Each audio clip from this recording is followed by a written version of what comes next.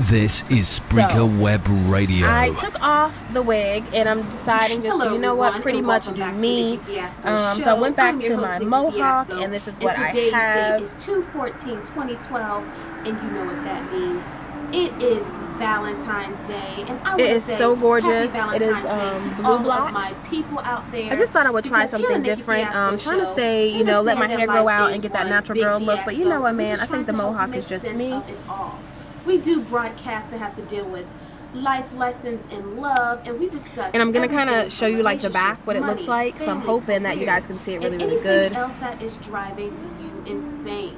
Consider me your friend, your confidant, your voice of reason, your sounding board, girlfriend, friend girl. I'll be whatever you need me to be for the next 30 minutes.